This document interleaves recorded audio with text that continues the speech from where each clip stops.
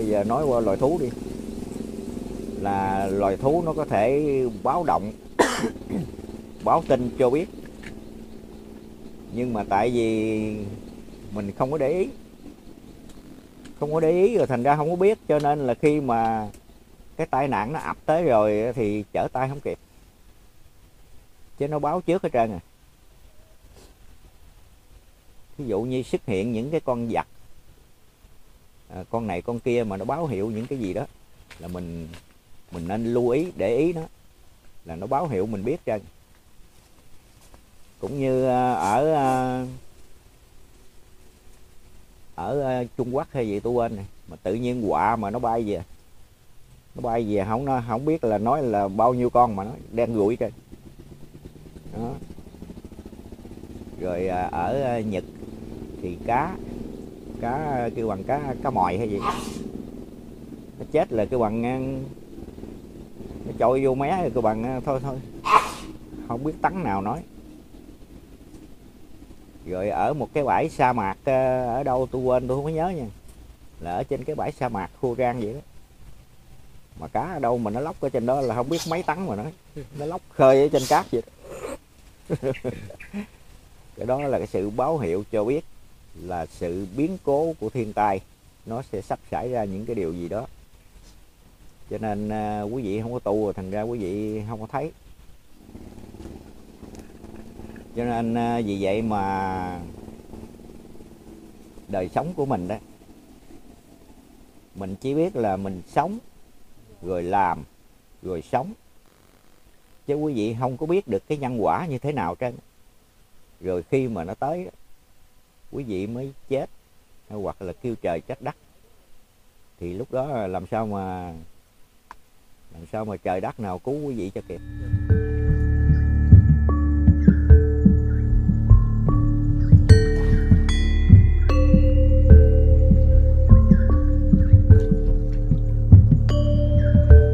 Sư thích ca mâu ni phật và nam mô a di đà phật.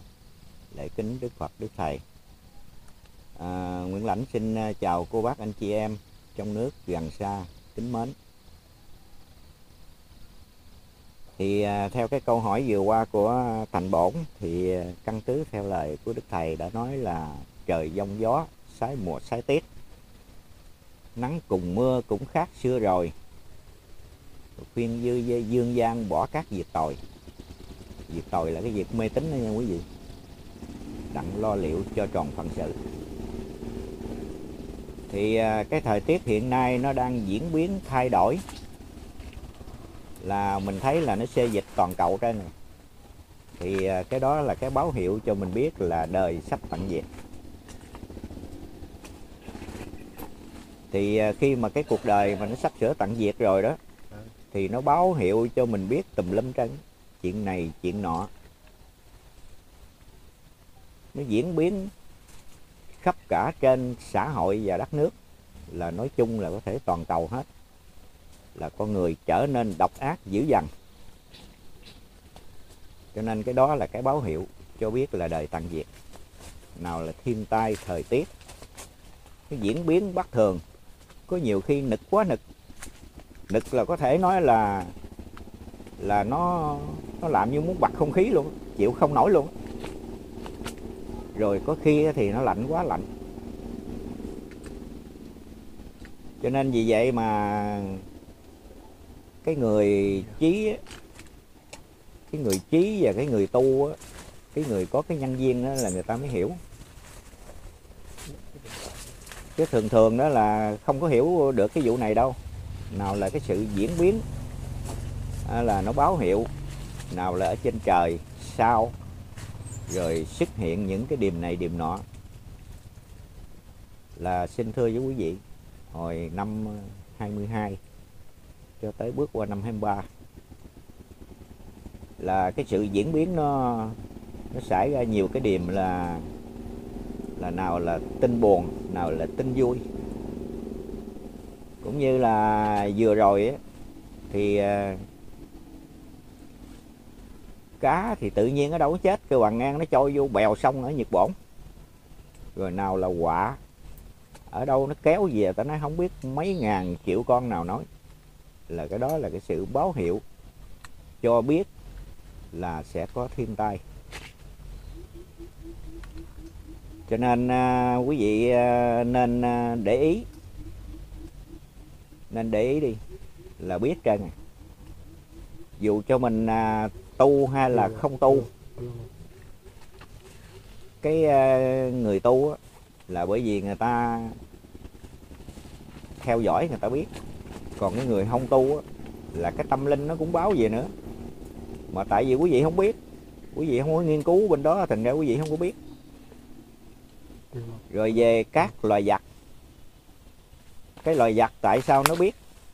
Nó biết những cái sự biến cố xảy ra nó biết hết trơn rồi nhiều khi mình không biết mình nói ờ, loài vật nó nó cũng linh thính này kia.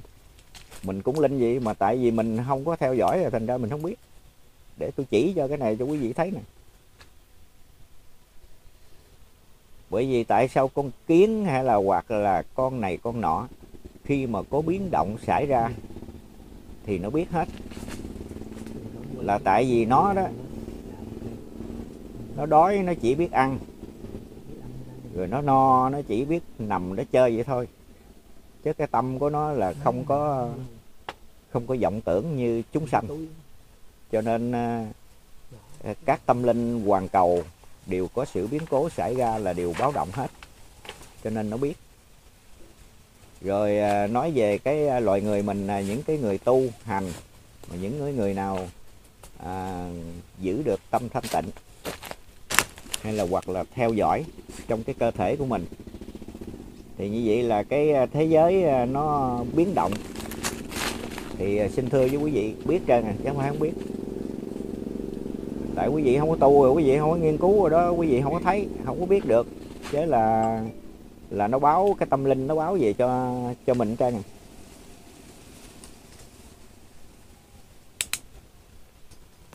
yeah à, cũng xin hỏi à, chú Tư thì cái trận động đất bên Thổ Nhĩ Kỳ đó chú Tư thì trước khi động đất là cũng như mình có thấy được cái điểm báo thì sẽ à, diễn ra trước không chú Tư? Thì Nam mô Di Đà Phật.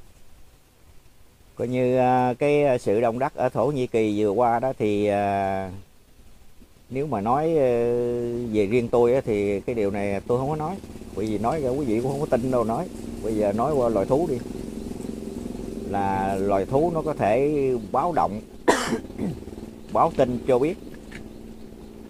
Nhưng mà tại vì mình không có để ý. Không có để ý rồi thành ra không có biết cho nên là khi mà cái tai nạn nó ập tới rồi thì chở tay không kịp. Chứ nó báo trước hết trơn à. Ví dụ như xuất hiện những cái con vật à, con này con kia mà nó báo hiệu những cái gì đó là mình mình nên lưu ý để ý nó là nó báo hiệu mình biết trơn cũng như à, ở à,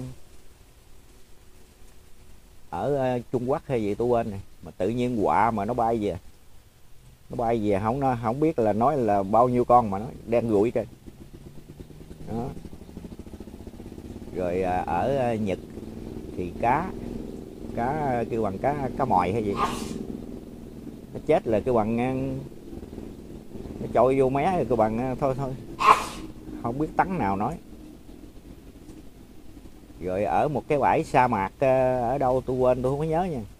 Là ở trên cái bãi sa mạc khô rang vậy đó. Mà cá ở đâu mà nó lóc ở trên đó là không biết mấy tấn mà nó nó lóc khơi ở trên cát vậy đó. cái đó là cái sự báo hiệu cho biết là sự biến cố của thiên tai nó sẽ sắp xảy ra những cái điều gì đó. Cho nên à, quý vị không có tu rồi thành ra quý vị không có thấy không có biết được. Chứ tụi tôi là dòm biết ra nha cho tới à, những cái gì sao trên trời. Rồi những cái dằn mây những cái ngọn gió. Là tụi tôi dòm biết ra nè. Tại quý vị không có tu quý vị không có biết được mấy cái vụ này đâu.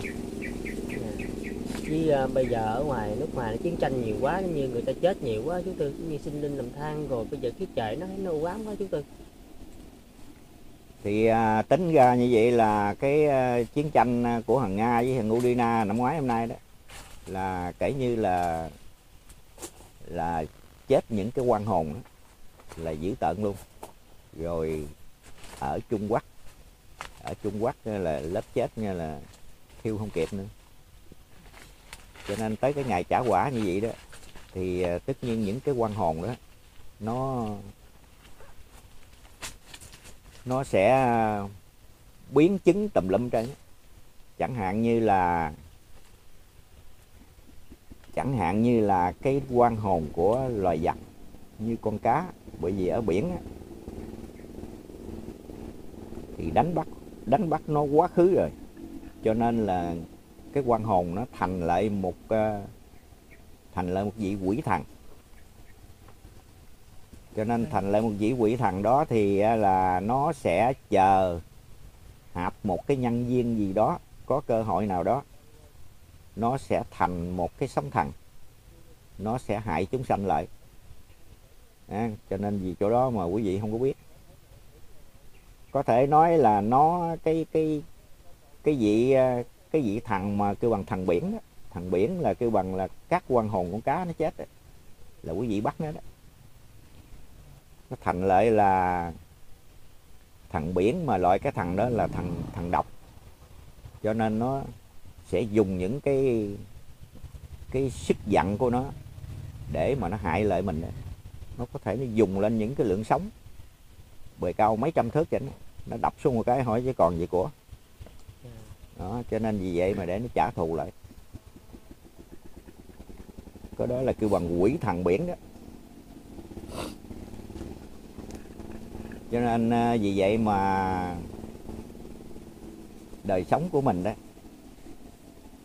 mình chỉ biết là mình sống rồi làm rồi sống. Chứ quý vị không có biết được cái nhân quả như thế nào trên rồi khi mà nó tới quý vị mới chết hoặc là kêu trời trách đất. Thì lúc đó làm sao mà làm sao mà trời đất nào cứu quý vị cho kịp? Dạ. cho nên phải đành trả quả rất trầm trọng rồi à, để chút nữa đây tôi sẽ à, diễn tả thêm một à, khoảng là quý vị sẽ chết cái kiếp này là quý vị không còn được làm người. Rồi, quý vị chờ chút tôi nói qua giai đoạn đó rồi quý vị biết. Cho nên vì vậy mình làm con người, á, là mình phải dù cho mình có nghèo, có đói hay là có khổ cỡ nào đi nữa mình cũng phải giữ cái tâm tốt của mình. Đừng có bỏ mắt nó. Bởi vì khi con người mình đã có cái tâm tốt, mình đã giữ nó để mình xài đó, thì xin bảo đảm với quý vị là không bao giờ quý vị khổ. Quý vị đừng có tính mu này cái nọ, tính không có được. Đừng có tính mệt mỏi lắm. Quý vị mở cái tâm từ bi ra đi, biết thương người mến vật lấy cái tâm tốt để đối xử với loài người và loài vật. Thì từ đó quý vị sẽ được cái công đức vô lượng, rồi mặc sức quý vị hưởng. Chứ quý vị đừng có nghĩ rằng quý vị sẽ khôn, quý vị sẽ học cao hiểu rộng. Quý vị sẽ tính, quý vị sẽ làm giàu được. Quý vị nghĩ cái câu đó là rất sai lầm. quý vị quý vị thấy mấy ông ờ, mấy cái vị mà cũng như là thủ tướng nào này kia đó, mấy vị đó là bởi vì có phước cho nên mới được làm thủ tướng tổng thống. Rồi tới ngày hết phước, phải chịu là khổ trầm trọng. Cho nên vì cái chỗ đó mà mình không có tính được, quý vị ơi, lo tu đi lo tu đi rồi giữ cái tâm cho tốt đi. Rồi trời cho mình. Đem thảy vô nhà mình luôn mình khỏi kiếm đâu trên khỏi có tính toán khỏi có- kiếm ở đâu cho nó mệt. Á, mình làm phải mình có phước có đức đi rồi trời đem thảy vào nhà mình luôn.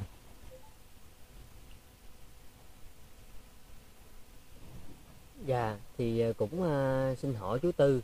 Thì chú Tư có thấy ờ, là ở cái chiến tranh bây giờ ở Nga với chú Tư thì nó có kết thúc hay không? Chú Tư hay là sẽ đi đến hoài luôn chú Tư cái uh, cuộc uh, chiến tranh này uh, không bao giờ kết thúc. Bởi vì uh, cái thời kỳ này nó đã quá mùi rồi cho nên là nó sẽ uh, đi tới hoại diệt luôn chứ không bao giờ kết thúc. Uh, xin thưa với quý vị là là không phải hai này nó quýnh uh, vậy rồi thôi đâu. Nhưng mà còn nữa. còn nữa bởi vì đức thầy đã cho biết là khắp hoàn cầu nghịch lẳng cùng nhau. Nó nghịch lẳng hết trơn à rồi từ từ bắt đầu nó là là nó đụng tới thằng này cái thằng kia binh.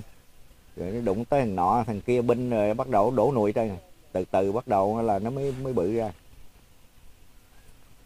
Nó bự ra rồi bắt đầu là nó mới nó mới đi tới cái chỗ là là không còn can thiệp được. Cho nên quốc uh, à, Ờ, quốc tế cũng đành bó tay luôn. Lúc đó là xả cản luôn. Muốn làm gì đó làm cũng như là cũng như là con nó quậy quá rồi cha không còn la được nữa rồi buông tay luôn cho về làm gì đó làm. Là cái đó là nhỏ đây cái cái hậu quả không à bởi vì tới cái thời kỳ phải trả quả là nó như vậy đó. Nó đi tới cái chỗ tiêu diệt nó nó, nó, nó tự nó, nó quýnh lộn nhau rồi tự nó chết rồi tự nó tiêu diệt nó chứ đâu có à, ai hại nó đâu. Là tại vì nó chứa cái tâm độc địa. Cái tâm hung sùng cái tâm tham lam độc địa của nó. Cho nên vì vậy mà bởi người ta nói là gãy ông đập lưng ông đó. Tự mình hại mình. Thí dụ như mình mình giỏi hay là hoặc là mình có cái lòng tham quá khứ. Mình giỏi mình có thể là mình chế ra được cái trái bơm này. Mình sẽ thảy qua nhà kia nó chết nhưng mà thảy ra rồi mình chết luôn. Nó chết rồi mình cũng chết luôn. Chứ mình cũng không tài ba gì mình sống. Là tại vì cái tâm của mình độc địa. Độc địa cho nên là không có thể nào mà thằng kia chết mà mình sống được. Cho nên hai thằng chết hết. Cho nên à, xin thưa với quý vị mình. Ở đời mà quý vị mình à, à, lo tu đi. Người nào cũng lo tu trơn đi rồi biết thương yêu lẫn nhau, đùm bọc lẫn nhau. Thì tôi nói với quý vị là không bao giờ mình khổ. Mà tại vì quý vị sống biết rồi, quý vị bảo thủ quá, quý vị sống của mình nên quý vị à? ai chết, ai kệ ai. Cho nên từ cái chỗ đó mà nó sẽ mắc phước, rồi mắc lòng. Nó mắc tùm lum ở trên cho nên nó phải đi tới cái ngày hoại diệt. Cho nên vì vậy mà trời Phật không có thể nào cứu quý vị được. Cho nên trong cái thời kỳ này, thời kỳ mạt pháp, đức phật đã xuống đây để là dạy cho mình tu. Đặng sau này còn sống sót để lập cõi đời mới lại. Chứ cõi đời này giờ nó quá dơ, quá xấu rồi, đâu có để hoài được cũng như cái lu nước mà nó nó, nó quá tệ lâu rồi nó thúi ở dưới thúi ra người hỏi chứ làm sao xài được nữa. Đổ xúc ra ngoài, mà mà là chứa nước mới lại xài. Thì cái chuyện đời nó cũng vậy. Cho nên từ cái chỗ đó cho nên mình phải ráng tu. Ráng tu đi rồi rồi mình sẽ được cái phước đức. Rồi sau này mình còn sống sót để hưởng thụ những cái cảnh mới mà thiên nhiên đó ưu đãi. Còn những người mà không có căn duyên hay hoặc là không có lo tu, không có biết cái sự đạo lý tội lỗi là gì, thì kể như quý vị sẽ sẽ đi tới cái chỗ quỷ diệt rồi quý vị ra cho bụi luôn. Trong cái thời kỳ này không còn đầu thai lại nữa. Là quý vị sẽ ra cho bụi hàng trăm, hàng ngàn triệu năm thì như vậy là rất ổn cho cái cuộc đời của chúng ta. Được làm người, được có cái trí khôn khéo, suy nghĩ, chuyện phải, chuyện quấy. Mà tại sao quý vị không tu rồi nó ổn, hết sức ổn à? Nó ổn cho một cái cái kiếp của con người. Cũng như quý vị thấy trên đời này đó. Cái người tu cũng chết mà người không tu cũng chết, người nào cũng chết trơn á nhưng mà người ta tu đó là người ta được hưởng phước. Cái linh hồn của người ta được sung sướng, được hưởng phước. Còn quý vị không tu rồi đó là quý vị quý vị chết xuống dưới rồi quý vị sẽ bị vô địa ngục, rồi quý vị sẽ bị hành phạt trừng trị bằng một cách ghê gớm. Cho nên lúc đó đó, thì quý vị kiểu như không không có đường nào tháo ra được trơn. Bởi vì khi mà mình bỏ cái xác này rồi đó, cái linh hồn mình không tu, nó ngu dữ lắm. Nó ngu dữ lắm, kể như nó không còn biết những gì nữa trơn. Kể như càng đi sâu vào cái cái sự khổ đau thôi chứ không có biết đường nào tháo ra trơn. Cho nên lúc mình còn sống đó, mình còn suy nghĩ được cái chuyện phải, chuyện quấy, chuyện hay, chuyện dở rồi đặt thí dụ như trường hợp như mình không hiểu, thì mình hỏi có người khác ta chỉ lại mình đó. thấy có phước không? Rồi dìu dắt lẫn nhau, cùng nhau tu tiến. Còn này quý vị ờ, nghĩ rằng quý vị quý vị hưởng cái kiếp này giàu có, sung sướng quá rồi ăn chơi cho nó đã rồi đang chết. Thì quý vị tính như vậy là rất ổn cho cái một kiếp của con người. Mà lịch sử hồi xưa tới giờ để lại đó chẳng hạn như là các vị Phật, cũng như nói là Đức Phật Thích Ca, thì kể như không ai là không biết. Thì tại sao là ngài giàu, mà tại sao ngài không thụ hưởng? Mà ngài để bỏ hết trơn tất cả để tìm cái con đường giải thoát. Thì à, cái con đường giải thoát đó thì để làm gì? Để cho cái linh hồn sau này được hưởng, không còn phải bị sanh tử luân hồi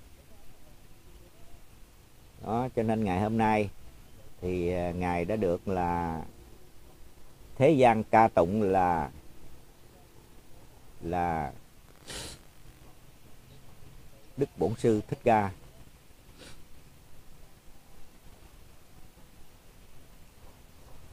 Cho nên à, khi mà ngài thành phật rồi đó ngài dòm lại mình ngài thương mình dữ lắm. Cho nên là ngài đã chỉ cho mình à, rất rõ ràng để uh, tu để giải giải thoát. Bởi vì con đường ngài đã đã kiếm được rồi ngài đã dọn rồi thì yêu cầu mình chỉ nghe lời mình đi ngay vô cái khuôn đó thôi. Đi ngay vô cái khuôn mà ngài đã dọn rồi đó mình đi ngay vô đó là kể như là được chứ không có là còn lúc hồi xưa mà khi mà ngài chưa có tìm được ngài phải chịu dầm mưa giải nắng ngồi ngoài trời ngoài đất khổ hạnh 6 năm mà chưa có đắc đạo được. Còn mình bây giờ mình tu là, là, là lên xe xuống ngựa không mà còn không chịu tu nữa thôi vừa tội rồi còn gì nữa. Dạ chú tư ơi thì à, chú cho con hỏi thì à, tại sao à, bây giờ à, lại có à, chiến tranh dịch bệnh rồi nặng tay rồi thêm à, chồng giết vợ vợ giết chồng rồi con giết cha mẹ nữa chú tư? Sao bây giờ sao nó thay đổi quá chú tư?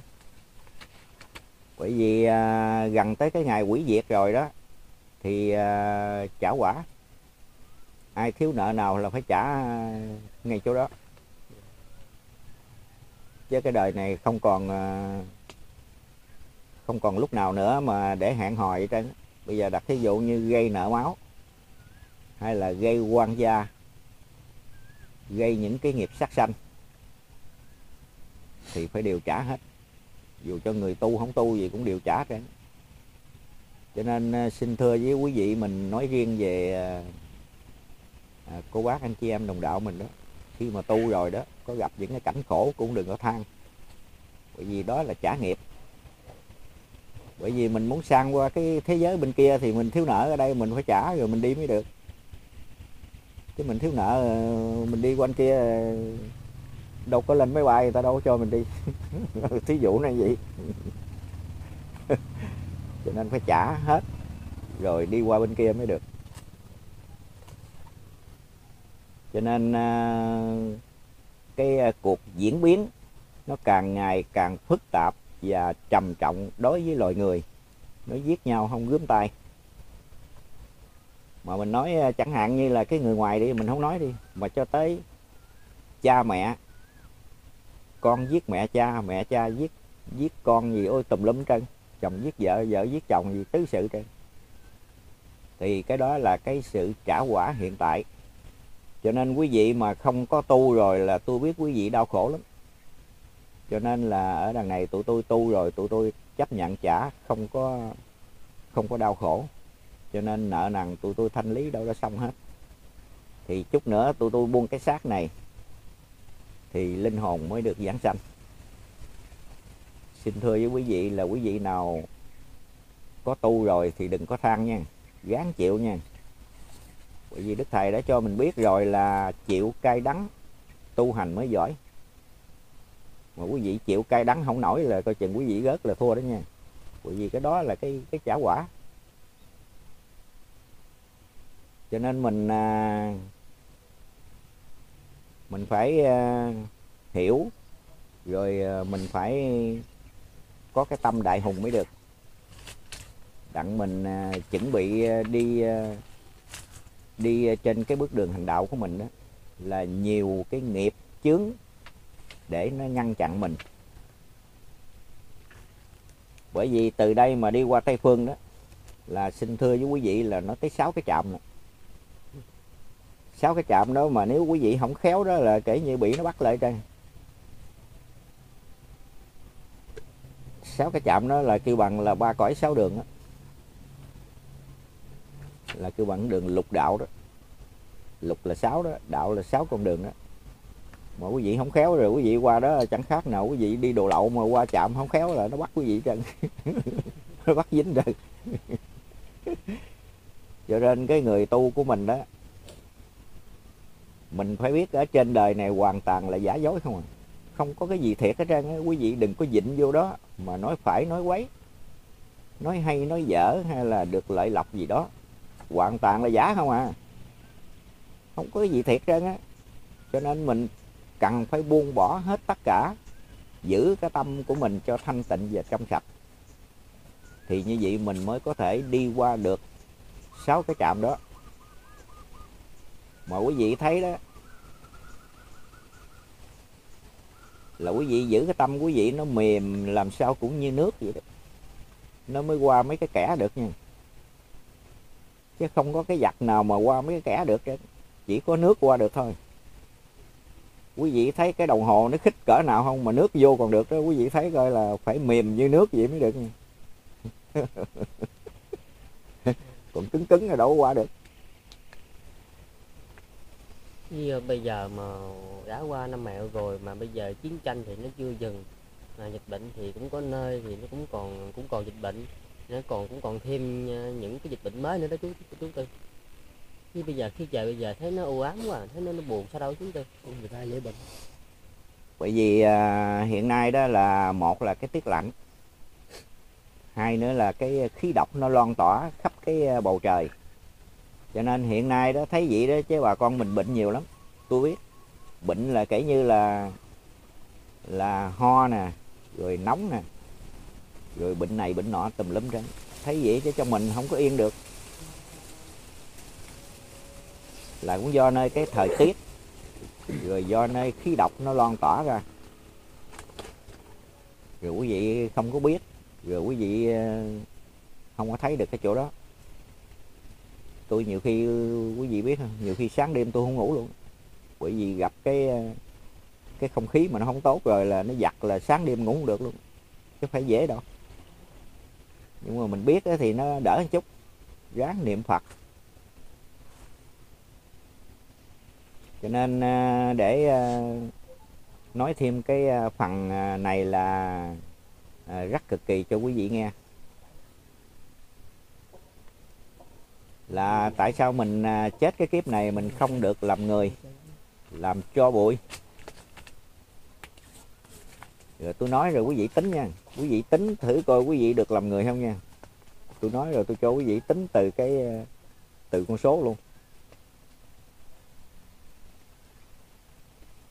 Bây giờ quý vị nghĩ từ khi cha mẹ quý vị sanh quý vị ra, quý vị sống được năm bảy chục tuổi tám, chín, chục tuổi, nhiều khi cả trăm tuổi. Trong cái thời gian đó, quý vị gây nghiệp, biết bao nhiêu sinh mạng không? Nào là ăn, rồi nào là nghèo khổ khổ quá rồi bán, làm mà cho tới bán nữa. Nghe. Thì như vậy là ăn một con á, ăn một mạng á, bán lại cả trăm, cả ngàn mạng thì quý vị tính coi trong cái cuộc đời của quý vị gì coi là biết bao nhiêu sinh mạng. Thì chút nữa quý vị chết, quý vị phải trả lại. Một mạng phải trả một mạng. Mà đức phật đã nói rồi, một mạng phải trả một mạng mà cắt một dao phải thường một dao. Rồi quý vị tính coi quý vị được làm người không? Không có đường nào quý vị làm người nổi trên. Thì quý vị tính trong cái thời gian mà năm bảy chục năm cả trăm tuổi thì quý vị tính coi là biết bao nhiêu sinh mạng rồi quý vị trả đời kiếp nào mà để cho hết đâu quý vị. Quý vị suy nghĩ cái chỗ đó, lại cho kỹ chỗ đó đi, rồi phát tâm tu nha. Bởi vì loại giặc á, là cũng do nơi chúng sinh mình sanh ra nhưng mà nói cái này nữa là mới ghê nè. Là trong thăng bằng quyến thuộc của mình, làm tội rồi đầu thai lẫn lộn trở lại. Rồi quý vị không biết rồi quý vị ăn uống vô. Nào là ăn, rồi nào là mằng đem lên bàn thờ cúng. Mằng thịt ông bà của mình đem lên bàn thờ cúng ông bà của mình. Nhiều khi đám dỗ đám quải quý vị mằng heo nè mằng bò nè mần trâu mần dê đồ này kia. Trong đó hoàn toàn là điều thăng bằng quyến thuộc của mình không à? Mà quý vị mần thịt thăng bằng quyến thuộc mình rồi quý vị trở lại cúng ông bà của mình hỏi cho tội lỗi cỡ nào quý vị thấy chưa? Mà quý vị không có biết gì trơn, quý vị nói đâu là ngon không à? quý vị tính đâu là ngon không à? chứ không có thấy cái dở. Cho nên từ chỗ đó mà đức phật mới biểu mình ăn chay và cúng chay. Bởi vì mình cúng đây đó là ông bà cha mẹ mình cũng không có ăn uống gì trơn. Cúng là để nhớ cái ngày kỷ niệm. Dạ, mình tỏ lòng hiếu thảo chứ à, để nhớ cái ngày kỷ niệm hiếu thảo. Cây có gốc cội có nguồn. Con người của mình được thể xác và được hình hài như ngày hôm nay là nhờ có tổ tiên ông bà cha mẹ cho nên từ cái chỗ đó mà mới nhớ ơn cái cái công ơn đó mới thờ cúng. Cái cúng có mắc miếng thịt nào đâu. Có ăn uống được gì đâu. Nhưng mà không cúng á, thì mang cái tội bất hiếu không biết gì hết. Cho nên à, vì vậy mà phải cúng nhưng mà phải cúng chay chứ đừng có cúng mặn nha.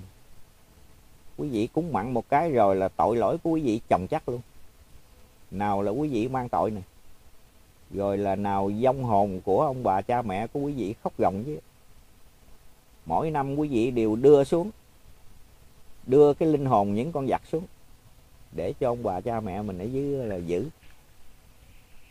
Tại vì quý vị quá mê muội cho nên quý vị không có thấy. Không có thấy không có hiểu gì trơn cho nên quý vị không có sợ. Cho nên à, để tôi kể lại trong kinh Phật mà hai khúc à, ngắn ngắn để cho quý vị à, nghe để mà kinh nghiệm. Hồi xưa mà khi Đức Phật mà dẫn A Nan đi đó, thì Đức Phật mới dùng nhãn thông quá hiện ra những cảnh địa ngục để cho ông A Nan thấy.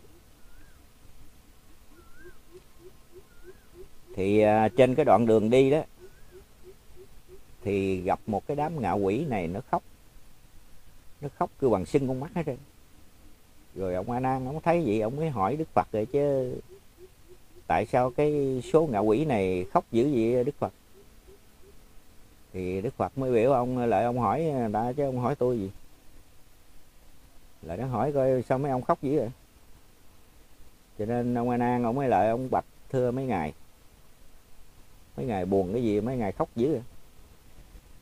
Cho nên các vị ờ, đó mới trả lời nói là bởi vì con cháu của tôi ở trên cõi diêm phù đề nó không có tu. Cho nên hàng năm nó mằng nó mằng thịt, con này con kia nó đám dỗ nó cúng tôi. Rồi cái quan hồn nó xuống đây, tôi mắc canh giữ cho nên vì cái chỗ đó mà ở đây tụi tôi tuyệt vọng. Cho nên tụi tôi buồn, tụi tôi khóc. Nó ông anh an ông nghe vậy, cái mới lợi là đi nữa. Đi nữa gặp lát cái đám ngạ quỷ này cười. Thì a nan mới bạch đức phật, hồi nãy sao mà đám ngạ quỷ nãy khóc mà đám ngạ quỷ này cười? Đức phật mới nói thì ông lợi ông hỏi người ta. Cho nên mới lại hỏi ờ, dạ thưa mấy ngày mấy ngày vui cái gì? Mấy ngày cười giỡn đồ thấy vui quá à.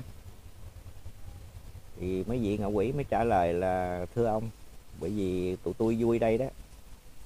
Là vì ở trên cõi diêm phù đề, con cháu của tụi tôi nó có tu. Nó biết làm phước, nó có tu. Cho nên vì chỗ đó mà tụi tôi có hy vọng một ngày nào tụi tôi sẽ được giải thoát khỏi cái kiếp ngạ quỷ này. Cho nên vì chỗ đó mà tụi tôi mừng. Nó, hai cái mẫu chuyện vừa rồi, xin thưa với quý vị. Quý vị nên nghiên cứu lại quý vị đừng có nghĩ rằng bữa nay đám dỗ ông già mình bà già mình hay ông nội bà nội gì đó. Mà quý vị mần bò mần trâu mần dê mần chó có người mần luôn tới chó luôn đó. Nha, gà vịt heo này kia cũng không nói. Rồi từ cái chỗ đó mà đem lên bàn thờ mà cúng rồi quý vị thấy coi tội lỗi cỡ nào chưa? Rồi nào là cái quan hồn xuống dưới ông bà cha mẹ mình bị giam giữ giữ mà cho chừng nào mà tới mà là nó đi đầu thai đó là mới là được yên ổn. Chứ phải nói dễ đâu. Rồi chưa có được đi đầu thai nữa thì năm tới đưa xuống nữa rồi. Đưa xuống hoài vậy rồi hỏi chứ rồi, rồi ngồi đó giữ hoài. Cho nên rất là khổ đau. Mà quý vị chỉ biết ăn nhậu không à. chứ không có biết là tội lỗi. Rồi không có biết ông bà cha mẹ của mình chịu đau khổ ở dưới địa ngục. Cho nên vì vậy mà đức phật đã viết kinh kệ để cho mình coi, để mà biết cái tội phước rồi sống ở đời đặng mà lo tu hành, lo tạo phước đức. Mà quý vị, tối ngày quý vị lo, quý vị làm giàu không à? Quý vị lo ăn nhậu, lo làm giàu không? Thành ra quý vị không có coi tới mà đức thầy đã nói là đại đạo giáo văn văn bất chi. Tối ngày không có coi, thành ra không biết gì hết cho nên là khi mà xuống diêm đình rồi mới thấy tội hỏi ôi. Tới chừng đó mới biết có nơi địa ngục thì rồi. Mà cứ con cháu ở trên này, mù quáng, không biết gì hết. Cha mẹ ông bà khóc ròng chứ. Dạ chú Tư ơi, thì ở cái thời buổi hạ quân này thì đối với những cái vị mạnh thường quân mà có tấm lòng từ bi mà à, gửi tiền về để chúng cho chúng ta làm cái à, việc thiện của chú Tư thì cái phước đức của à, những những mạnh thường quân đó sẽ như thế nào hả chú Tư? Nam mô Di Đà Phật. Dạ nam mô di đà phật. Thì à, mấy cái vị mạnh thường quân mà biết tu hành làm ăn có dư tiền để à, làm phước bố thí gửi về cho việt nam thì cái công đức đó là vô lượng thì như vậy là quý vị đó sẽ được hưởng và những cái quan hồn trong củ quyền đều được hưởng hết. Cho nên à, tụi tôi à, rất mừng là vì quý vị biết tu, biết làm phước là tụi tôi ở Việt Nam bên đây mừng lắm. Cho nên à, quý vị dù cho quý vị ở nước nào đi nữa thì tới ngày lập hội thì quý vị cũng được quy tụ về hết tất cả. Cho nên quý vị đừng, đừng có sợ. Là vì sau này mình à, xài cái linh hồn không à. Chứ cái xác này bỏ rồi không có xài nữa. Mình xài cái linh hồn rồi sau này lập đời thượng quân lại mới mượn cái xác khác. Cái xác này đâu có xài được.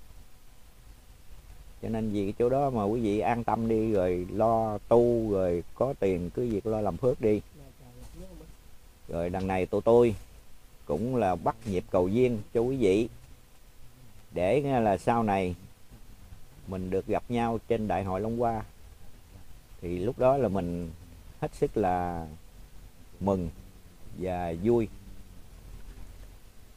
Cho nên à, để à, kết luận cái đề tài này thì xin à, nhắc lại cho quý vị là cuộc đời này nó rất khổ. Cho nên vì chỗ đó mình phải ráng tu nha bởi vì nó đã đã quá mỏng rồi chứ nó không có còn mà là nói là dòng do nữa. Kể như nó mỏng như lắm rồi nay mai gì đây? Thì cái ờ, bầu trái đất này nó sẽ lũng một cái là kể như rồi. À, xin thưa quý vị mình nên ờ, ráng tu siết để cho kịp ngày đại hội. Thì ờ, tới kết thúc thì xin cầu chúc cho quý vị thăng tâm thường an lạc đạo quả viên dung và tu hành tinh tấn cho tới ngày thành công viên mãn. À, tới đây Nguyễn Lãnh xin chào quý vị nha.